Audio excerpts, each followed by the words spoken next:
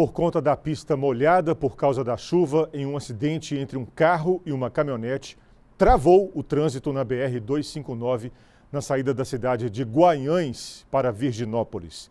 Tudo aconteceu numa curva próxima ao tratamento de água e esgoto do Serviço Autônomo de Água e Esgoto, o SAAINE. Né? Apesar da gravidade, não houve vítimas fatais. As pessoas com ferimentos leves foram atendidas e liberadas.